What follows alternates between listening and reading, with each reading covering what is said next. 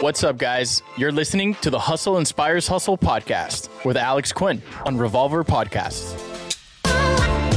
I'm an investor and entrepreneur, and throughout this journey, I've worked with and come across some incredible people and experiences that I would like to share with you. On the podcast, my celebrity guest and I will be talking about self development, entrepreneurship, and overall hustle. If you want to survive this journey, you'll need a strong support system. So we got here as fast as we could. Today, on our first episode, we have digital artist, entrepreneur, and co founder of Ikonick, Jeff Cole. This is Alex Quin, and you're listening to Hustle Inspires Hustle. Let's get talking about how it is that you got into the design world? What inspired you to do this? Why why did you pursue this route? Um, well, I actually started art way before I even like had my first memory. It's kind of like walking. Um, my mom put me in private art classes. I think around when I was six or seven years old. Um, after I think I was in preschool, and the teacher put my grandma aside when she was picking me up and said, "You should save all his artwork." And she's like, "Why?" She's like, "He's you know, exceptionally better than anyone I've ever seen at this age. So my mom put me in, you know, art school at seven. So I just grew up um, doing art. So it's like literally everything I've ever done, um, from painting, illustration to 3D, sculpting, um, charcoal, pastels. I grew I grew up on every art medium there was, and it actually wasn't until almost in the middle of college is when I actually jumped on the computer, and I was actually really against it. I hated, you know, any computer-based artwork. Um, you know, was a huge advocate of you know uh, studio art, which I was studying. So once I hopped on, basically to earn money, and this is kind of when like my, I guess you would say, entrepreneur started. Um, that's when I kind of switched over and to 100 percent digital art. Yeah, bro. New age digital art is, is something that's crazy. I remember I was watching a documentary on Netflix the other day. Um, it was about Pixar, and it was about when they first wanted to do Toy Story, how everybody was freaking out about how it was going to change, you know, the art industry and how it was going to, you know, certain parts of it were going to die out. But you know, so many doors open for new things and for new technology that it's crazy, man. Um, how uh, what what programs did you first start working on when you first started doing this? Like when you when you, are telling me that you were in college and you were you know introducing introducing your, yourself to new things what programs were you were you working on? So basically i was a broke college student and i wanted to kind of make some money and kind of start my art career because you know being an artist your whole life and kind of teachers telling you what projects to do, I just kind of was like fed up with that. So I wanted to start kind of doing it on my own. So I downloaded Illustrator and Photoshop.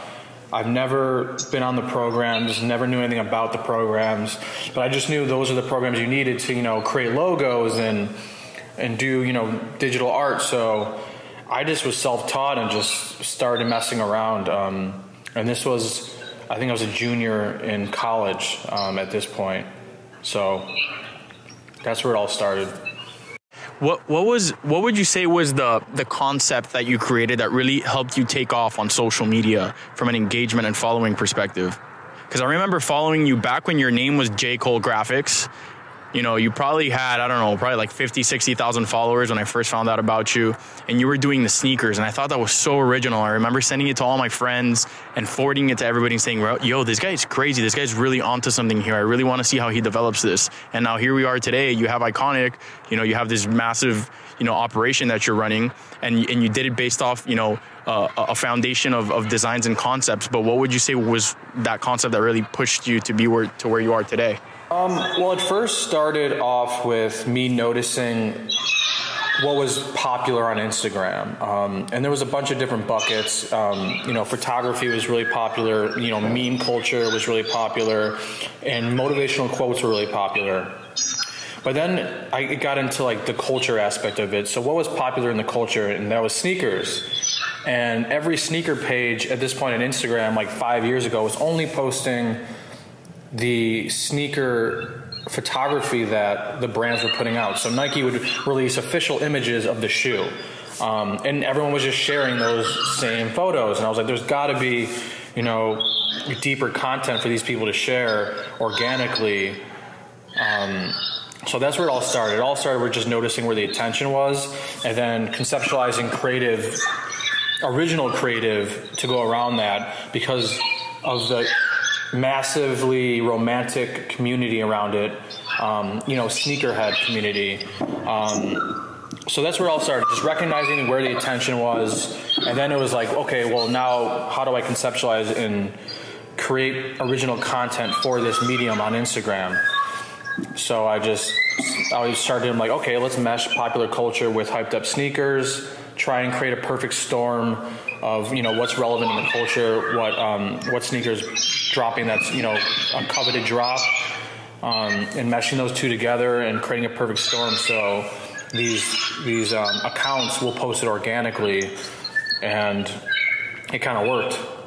Your attention to detail, not only on the design but on the marketing aspect, is really crazy, and I think that's what's really helped really push you not not only your career but your social media platforms. Because you know a lot of designers like on on digital media are extremely talented, but they really don't know how to speak to their audience, and I think you've done a great job at marrying those two. What was one of the first like big brands that noticed your work and started sharing your work and that really motivated you to you know to continue doing what you were doing? Uh, well, the first the first sneaker I guess sneaker art design I did was the Red Octobers um, back in 2013 when those um, when those dropped again. And then I took kind of a hiatus from it because I didn't really have a following. I think I had like 5,000 followers, which was nothing back then.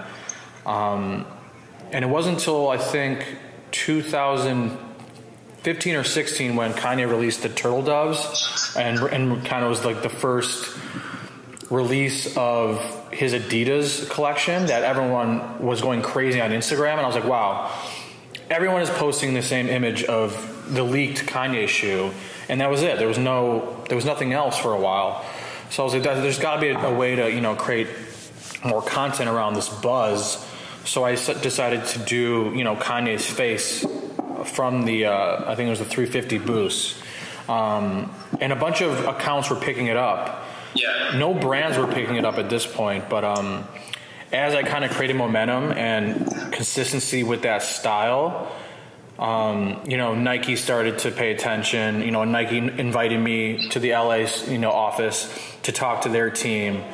Um, and then I did a project with Jordan Brand on the release of the Space Jam 11s, and that was really cool. And then Adidas um, started to hit me up for some projects. So it just it started obviously with the uh, Adidas Kanye design, but it really was from the consistency of that style and just dropping a new design. I think it was like every other day that really got the brand's attention because I actually, you know, with everything in art, you need to create, you know, a portfolio which involves consistency and um, um, elevating your style. Let's talk about ikonick. Okay. Obviously, ikonick is, is your brand right now. This is the brand that you're pushing. You know, it's, it's a brand that's reached you know a large scale of success across digital media, across many platforms. Everybody's talking about you guys.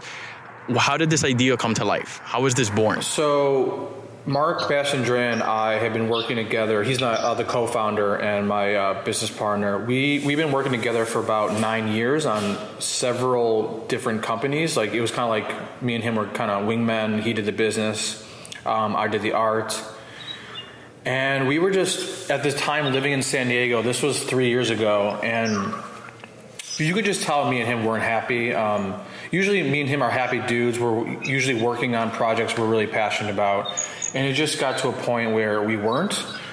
So, you know, one night I came home and we're like, dude, we, you know, we got to start something, you know, on our own. Because at this point, me and him were always, you know, the number two and threes in companies where we didn't have much say um, in, you know, the brand's direction.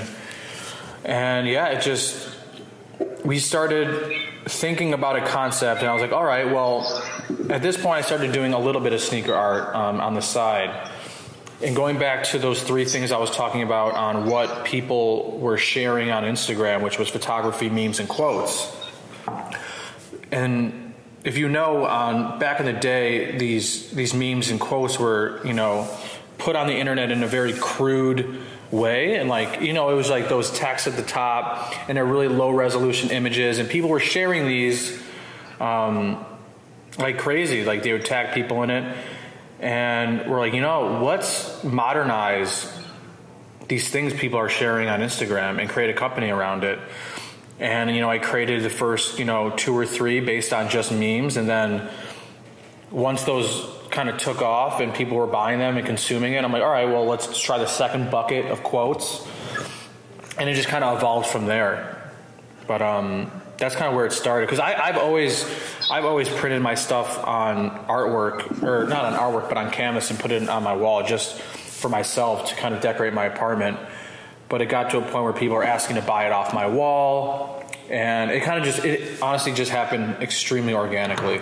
That's dope man how you guys brought that together. I mean you guys worked together for several years until you guys finally decided you were ready to do something or you know sometimes it's not even the time or place. Sometimes you just have to be there mentally. Sometimes you just got to be patient and give yourself the time uh, to allow things to happen you know. Um, a lot of people nowadays i want to start businesses want shit to happen right away. It has to be in that exact moment. And sometimes you have to learn a little bit more about the business about yourself about your partners before you could really dive in and plunge into something that you're trying to do.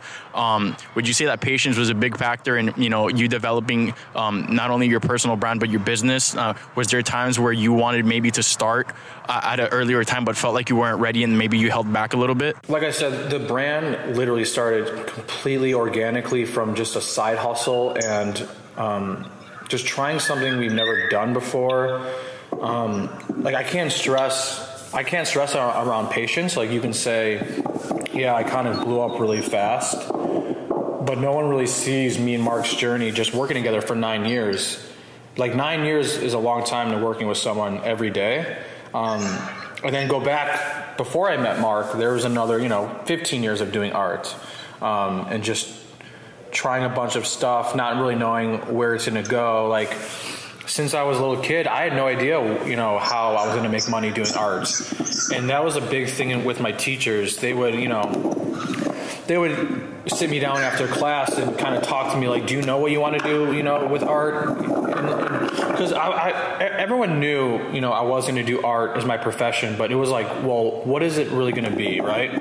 You know, I see you drawing and painting and doing all this stuff, but how are you actually going to make money with it? And that was kind of like the whole theme of my childhood is like, how are you going to make money with this?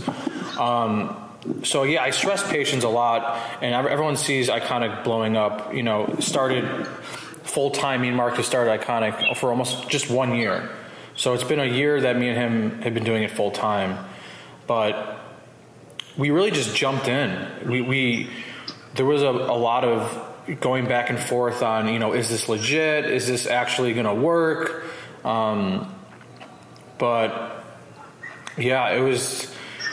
I can't stress enough how organic it was, and it wasn't a planned attack. It was just let's just do what we're really comfortable with and what we've been doing our whole lives. Like I've been putting art on paper since I was seven, and I'm still doing it. And it took until I was 29 for it to really be recognized. Bro, hard work is not overnight. I mean, you know, I, like like a person like me that has been following you for a while and has actually been a fan of your work. Um, it's been really it's been really dope. It's really cool to see how fast Ikonick has grown. But you're right. The 10 years of hard work you've put in, you know, learning different programs, learning about yourself, you know, your family's efforts. It, it's so many things that that come together to make you the designer you are, the person you are, the entrepreneur that you are. And obviously, this journey is really, really difficult. Anybody that says that it's a breeze is talking shit because this is not easy. You know, I run several businesses. Right now, I have so many things going on that I don't even know how I keep it together. Um, I, I can't imagine how people at a bigger scale do it. You know, like you and I have had some pretty cool conversations. Like people like Elon Musk. Like, how does this guy do the things that he does? But it's all organization. It's all learning from your mistakes, and you know, just keeping an open mind. Um, what, what, would you say, man? Um, are some of the biggest mistakes that people in your industry um, make uh, when trying to build their business? Like so, some of the biggest roadblocks that you see that people run into that could probably bring our listeners some value as to you know how they could overcome certain speed bumps down the road. Well, it's actually funny. I mean, I've been a part of a bunch of startups, and um, a lot of people try and replicate formulas of companies previously to them. So they'll either look on different companies and say, oh, well, they did this and they did this. But the way we started Ikonick was strictly on how we wanted to run it. We didn't, like I said, every day we woke up was a new day and we didn't know what we were doing. We didn't know how to run a company. We didn't know how to start a company. So every day we were making mistakes and trying new things and learning. Literally, we're learning by the second.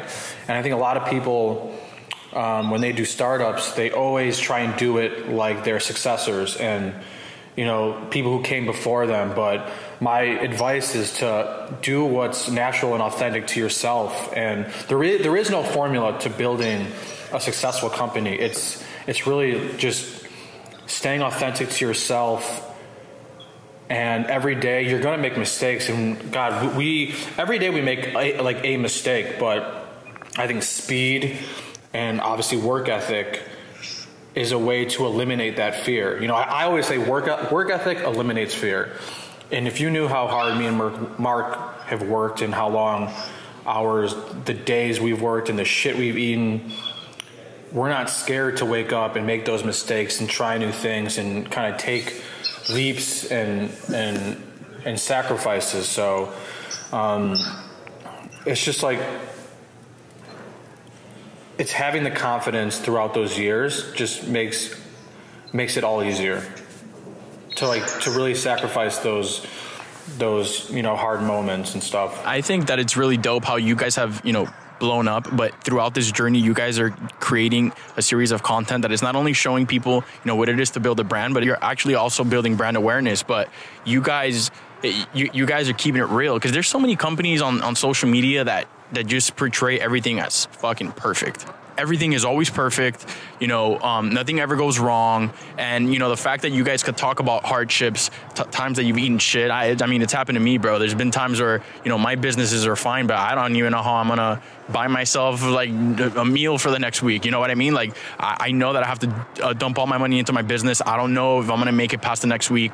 It's difficult, and you know, it's it's important for people to understand that because a lot of people that want to start a business or you know want to you know go down the entrepreneurial route feel like they're the only ones that are going through the struggle because everyone on social media shows this perfect lifestyle or this perfect life or you know they just they just have this false perception of of of life of how things actually are and then they are they're scared to take the plunge. Yeah i mean it goes back to authenticity. I mean it's easy to show us eating shit because we're eating shit. It's easy to show us building a brand every day because that's what we're doing. And like like I said, we've only been doing this full time for a year, so every day brings a new problem and a new fire we got to put out. So documenting that is always going to be authentic because you know waking up is day one of our journey of building a brand and, showing that with people and showing that to everyone is is, is, is exciting but it's um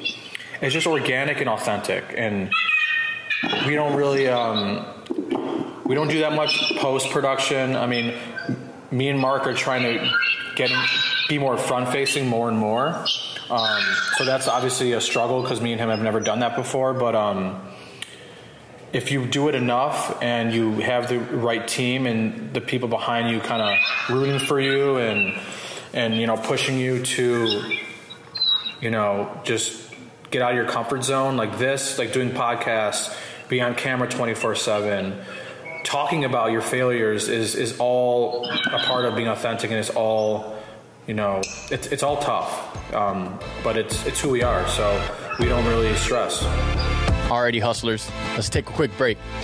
You're listening to the hustle inspires hustle podcast with alex quin on revolver podcast.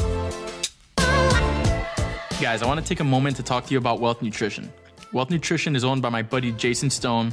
I want to tell you a little bit about it but before I do, let me ask you a few questions. Are you a hustling entrepreneur that's always on the go? Are you struggling with brain fog in the morning?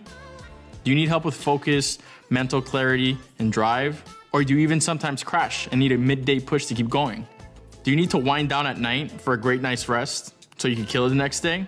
Well, you need to check out Wealth Nutrition. Check out the complete stack Focusify, Morning Motivation and Nootropic, Smooth Energy, Midday Caffeine and Boost, and True Rest for nighttime relaxation. Make sure to use code hustle for 20% off at the checkout. And you can follow them on Instagram at wealth underscore nutrition.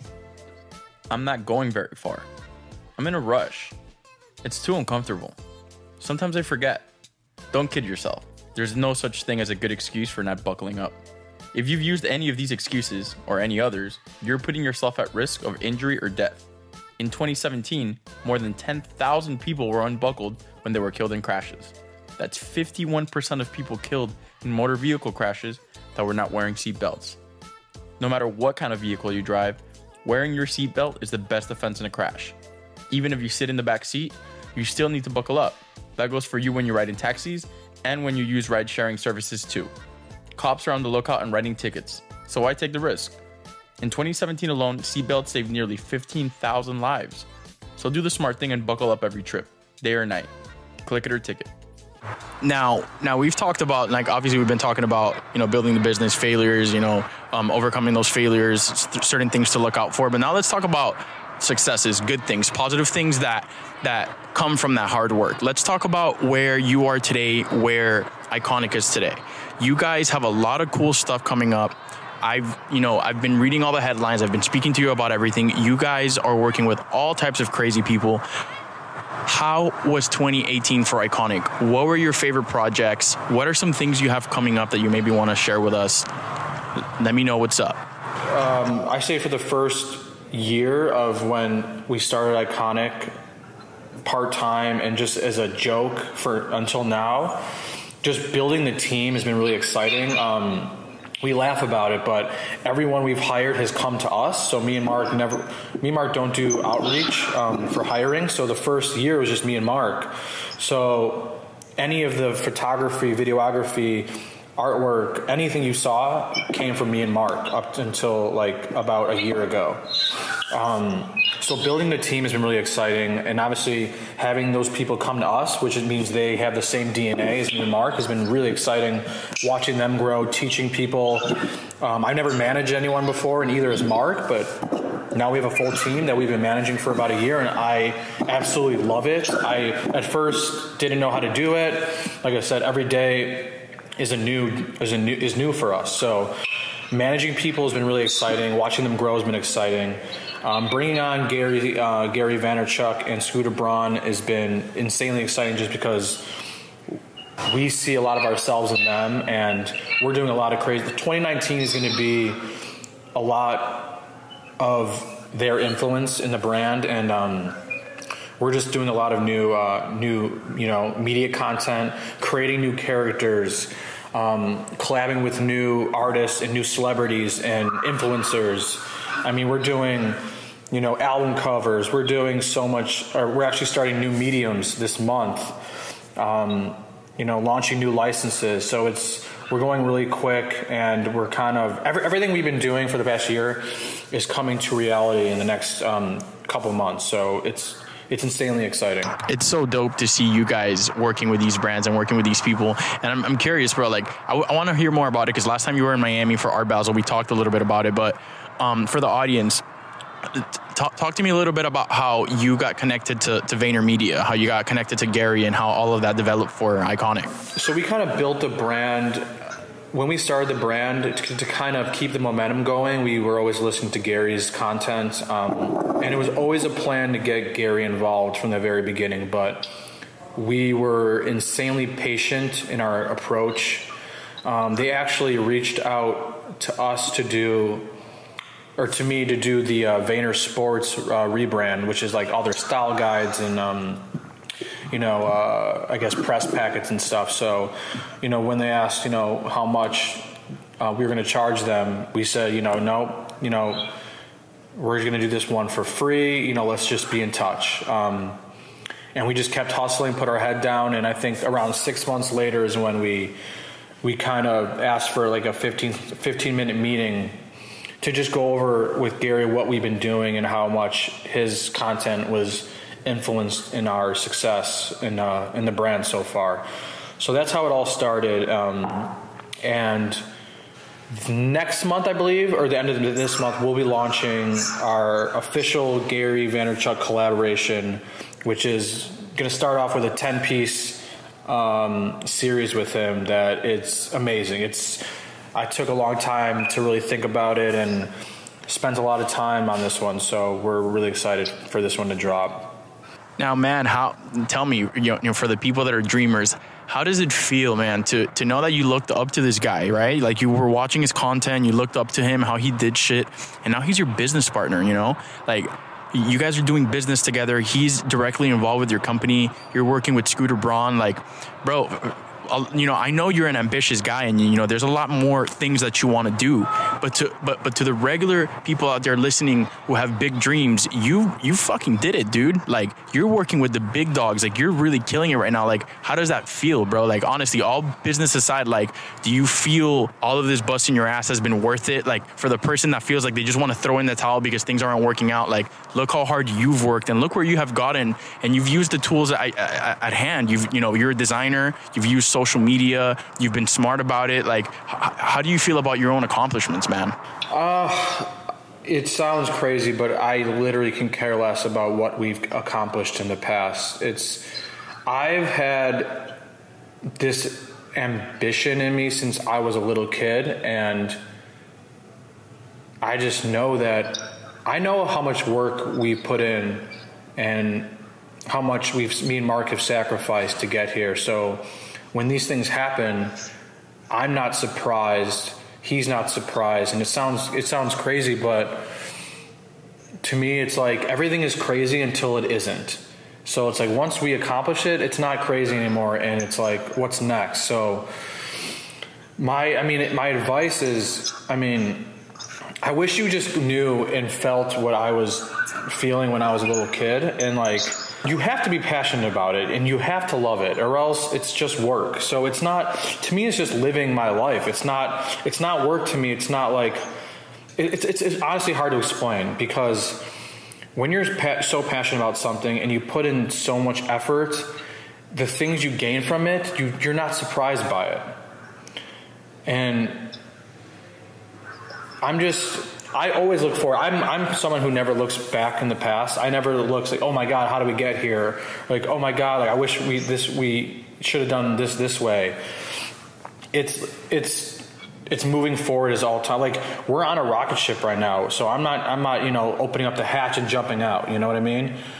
We're going 15,000 miles per hour. Um, we're going so you know super fast. So I'm fixing the ship. I'm you know I'm not looking out the window and enjoying the view right now. I'm completely strapped in, you know, and making sure my team is doing everything they're doing correctly and um, always looking forward and, and pushing the boundaries on how we how we market our product and it's just I, am honestly not thinking about it. I feel you, man, and I see like I see the importance of staying grounded, staying humble, and realizing that even though you've gotten you know this far there's still a ways to go you know this is just the beginning even though everything may look incredible and and that everything is you know falling into right into place there's so many more moves that you want to make that people don't know about.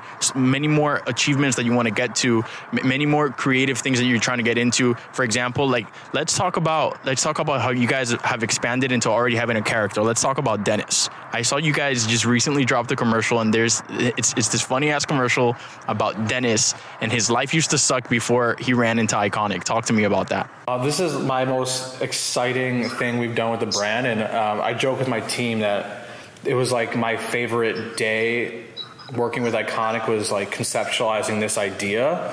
Um, just because I'm actually really passionate about um, film production and um, and art direction in, in movies and stuff. So doing this and watching it start from a concept and come to real life um, has been like literally the most exciting thing we've done. So Dennis is basically the ikonick super fan and his life was worthless and he finds ikonick art and all of a sudden he finds new hope in his life and the whole kind of series is going to be about his failures and him like finding an ikonick piece and being passionate about it and chasing after that message and then realizing that maybe that's not for him and then trying something else through another ikonick piece so it's like it's always going to be a revolving door of dennis's passions like thinking he wants to do something, doing it, and realizing it's not for him, and just keep going on that roller coaster through his life. So we're kind of documenting his successes and failures and his journey to figure out what he's passionate about through pieces that we design. So it's going to be, and we're also going to be incorporating, you know, influencers and our network uh, through Ikonick. So it's it's going to be really exciting. We're actually um, shooting um, a couple other episodes tomorrow, and um, we're writing new scripts and and it's it's actually really fun because the whole team is involved. So we all sit together in a room, and you know, Austin's involved, Jake's involved, Mark's involved. Um, we get everyone involved, and it's it's probably the most collaborative thing we do as a company. Now, for the listeners, the listeners that are asking about the, they may be asking, who is Austin? Okay, Austin is a little superstar that you guys have on the team that creates killer content for you guys. Tell me, how old is Austin? Austin is 20 years old, but he's 19 at heart. Um, he came to us, uh, what was it, about a year ago, um, and he's actually the one who kind of convinced us to get on camera and start telling our story because all of our artwork is, you know, hustle and work harder and all this stuff, but there wasn't anything behind it. But we were actually living what I was putting out. And at first, it wasn't always that clear. And he kind of reminded us, like, yo, like, you know, you guys are living the pieces you guys are putting out. And we're like, damn, you're right. So we should start, you know, documenting it. And obviously, with all the meetings we were going in with Gary and all these different celebrities and, you know, um, athletes and stuff. So he kind of was the one who kind of pushed us to start documenting and telling our story, um, and is you know responsible for a lot of stuff you guys see now on the internet. This should be this should be a lesson to a lot of business owners out there to be open minded because you guys here have so many things on the line, and you guys are sitting here listening to a 19 year old kid about ideas having to do with content. And a lot of issues that I've had, because I'm 25 years old and I've been doing this for a while, a lot of issues I've had is a lot of people don't necessarily take you seriously because of your age. But nowadays, it's not even about that. It's about the skill, it's about the understanding of social media, the understanding of content and distribution. And you guys have been able to scale out your brand with the help of somebody like Austin, who started with you guys. He's 19 years old, now he's now 20, and he's on his way to work with some of the biggest brands, some of the biggest people in the United States. It just goes to show that you could be literally any age nowadays and be able to start a business, push a business, or become part of a movement that's bigger than you. Yeah, and it's actually funny. Austin's now like the oldest employee that's n- not me and Mark. It's like now we have like 18 year olds and 19 year olds. So um, it's important, obviously, to understand culture and always be tapped into that. Um, but yeah, it's it, it, keeps me and Mark young. It keeps us always tapped in. Um, not that we weren't. Um, we were always like into culture and into you know attention and um, and. He, just the vlogging aspect um, was kind of new to us, and, and, documenting everything was completely new to us. So now it's it's getting pretty normal, and now we're starting to think differently. Um, so it's it's it's been it's been good all around. I know we got to start wrapping up soon, but I know you have some Q and A's that you want to get through. You have some. we had a um, we had a post that we made yesterday, and we had some of your fans submit some questions they want they would look for you to answer. So I know you've um, hand selected a few of them. Why don't we get into them? So actually, this is um, an interesting one. Someone asked what the hardest part of my job is, and that actually doesn't really come up that often. But um, and I was thinking about it, and it's definitely consistency. Um, it's funny. I go through these like periods where I think I've thought of everything, and I'll like every couple of weeks I'm like, oh my god, like I don't think I have any more ideas. Um, like how how can I you know r- remain consistent? And that's like the scariest thing I, I think about my job is um, I think Ikonick and especially my personal brand is um, heavy reliable or relied on kind of my creativity. So there's always that fear of like, what do I create next? You know. Um, so my advice obviously there is you know being consistent. You have to always be practicing and learning your skill set. Um, always be searching for references. And it goes back to always finding inspiration. Like i can't create something without being inspired by something whether it's a movie you know like a, a meme or something um, someone's posted. It could be anything. But i think consistently staying inspired will help you being consistent in your work. I'm with that, bro. And that's a great question that, that that guy just asked or that girl that just asked because not a lot of people ask that. Like, what is the hardest part of your daily life? Like, or your daily work life. And it makes a lot of sense, bro. Being one of the being one of the leading creatives in the industry, you need to be on top of your game. You need to be really informed about everything that's going on and you need to be more focused than ever because right now all your eyes are all the eyes are on you, right? Building your way to the top is difficult, but once you're at the top, everybody's trying to take your place, everybody's trying to copy. You don't know how many copycat Ikonick companies I see on social media that target me with ads and I'm like, guys, like just don't quit your day job, right? You know, like because you you got you got to realize what you know you got to realize where your talents are at, and you you guys are leading your industry right now. You, nobody's doing it like you guys. I've never I've never seen anybody market themselves from the beginning like you guys have. The influencer marketing, you know, I remember all the all the social media pages before, and like you were saying, you guys revolutionized that because you guys actually brought quality to these designs. Before it was just like pixelated designs, shitty designs. Uh, people were still sharing them, but you guys found a way to pretty much kind of like immortalize it. You know, not only are you gonna love it and you're gonna share it on your story or on your post, but you're actually gonna have it on your wall.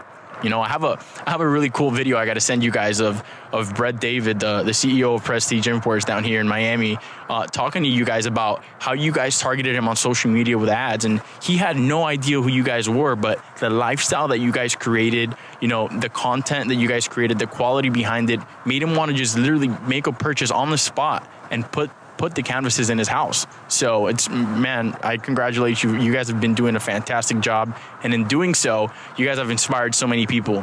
One of which actually had a question for you, and it's his name is Chris Sweden, and he actually um, designed your Lugmoji. He's based out of Canada, and his question is, "What did you think about your Lugmoji?" Man, I love it. It's actually he's the first person who's ever like drawn me or like like stylized me before. Um, I I haven't even done that. I'm obviously I did like some self portraits of myself growing up as a kid in like art class, but um, that was like the first one someone else has done, and I I think, I think it's hilarious. My whole team thinks it actually looks like me, so it's actually funny. It's good. Yeah, it's super cool, and, and I'll give you a fun fact. Chris actually um, designs emojis for some pretty big entrepreneurs around the world, and he doesn't have a big like he, he just doesn't go doing anybody. So it, it's it's actually really cool to see him um, bringing you to life because he's done Grant Cardone, he's done the prime minister prime minister up in Canada, he's done Mark Anthony, he's done so many people that it's ridiculous. And seeing him add you to that roster is just incredible, man. Um, I think it was it was a really cool really cool little um, gesture on his end, and um, and hey, man, he was my uh, my first cartoon. He brought it to life, and he brought to life your first cartoon, which which um, which opens up the topic of conversation for similarities. Um, right before we wrap up, um, I, I want to talk to people about the power of having good relationships and the power of building on your relationships. People want instant gratification and they want things to happen right away, and sometimes things don't happen right away. You know, um, you know the way we met, we hit it off um, in Art Basel in Miami, and we ended up, you know, wanting to speak to each other, um, you know, about how we developed our businesses, and in doing so, we found out that we have the same birthday, which is crazy we're both left-handed. You know, it's really it's it's it's it's silly and it's funny to to bring these things up, but it's it's very important when you're building business relationships with people that you understand how they are, what they like, what they're into. If your if your ideas align, in order for you to be able to see if there's synergy. You know, since the beginning, I knew that I liked your designs, and you know, sometimes they say, hey, the people you look up to, sometimes when you meet them, it disappoints and shit. But we met you. You know, Michelle and I met you, and uh, our team met you, and you were super cool dude. We had so many things in common, and I think it was very important for me to be able to, for my first podcast, because this is my first recorded podcast, you're going to be episode one, for me to be able to share thoughts and go back and forth with somebody who's very like minded and somebody that I look up to, bro. So I definitely want to thank you for your time, man. Yeah, I appreciate it. Know, that, I mean, that was actually my favorite, one of my favorite parts of Art Basel was literally deciding to go to dinner with you guys um, and like not not go out and party like it's just um, it just shows how you know important you know relationships are to me and how learning and um, just developing you know those relationships are. Like I could have went out and partied, you know, with everyone else, but um, I decided to, you know, go to dinner with you guys and pick your minds about creative. And I think we picked, I think we went through like tons of different creative that I was putting out, that you were putting out, and just talked about how we can make it better. And and it was one of my uh, favorite things about that trip was just getting feedback. That's dope, man. That means a lot. And Yeah. you know what's funny about that night is that night you didn't let us pay for the bill, right? Um, and I told you I had a hundred dollar bill on me, and I was like, you know what? We're gonna save this one hundred dollar bill, and we're gonna spend this in LA. And I shit you not, Cole. To this day, I just got back from a three week trip in Europe. I went to like 13 cities, and I just pulled it out of my wallet. I'm putting it in front of the camera, and people who are watching this on YouTube are gonna be able to see it. I have the one hundred dollar bill, and we're gonna spend this shit on Los Angeles when I go. And it has the same serial number because I took a picture that night with you in the back of it. And bro, we're gonna we're gonna chop it up when we go out there. But you know, bro, the UADV team, the Hustle Inspires Hustle team is very proud of you, man. We're very excited to see what projects you guys have coming up next year. We're definitely always gonna support you guys. I thank you for giving me the opportunity of speaking to you, man, taking out the time out of your day to do this. Let's finish off with you answering one question, bro. What if, if you could give your 18 year old self any piece of advice right now, what would it be? Man, um, patience. It's it's always for me. Whenever someone asks me of that, you know, to go back back in time, it's always going to be patience because at that time, you really don't know. You can't read the future, and obviously, you know, being young, you want it now, and you see. And now it's even crazier. Back then, we didn't have social media, but today when you're 18 you see all these 18 year olds that have it now and when i was 18 i didn't know anyone 18 that had it now so patience is now more important than it was when i was a kid um, but if i'm 18 right now and i'm speaking to all the 18 year olds now it's definitely patience. Um, you know a lot of people see Ikonick pop off quick and they see my per- personal brand popping off quick but i'm trying to t- let everyone know that it took 30 years to um, for it to pop off and it can pop off at any second through any piece of content. Um, so it's definitely patience and just be consistent and if you have a crazy work ethic it's all going to work out All right, brother. I appreciate you so much, man. Thank you for taking the time to do this. Uh, we'll definitely stay in touch, bro. Alrighty, guys, that concludes this week's episode of the Hustle Inspires Hustle podcast with Alex Quin. Remember to tune in every Monday for new episodes and stay connected with us on Instagram and YouTube for updates and exclusive content, including a video segment of this week's podcast. You can find us on at Mr. Alex Quin with one N and at Hustle Inspires Hustle. Remember to surround yourself with people who uplift you because hustle inspires hustle.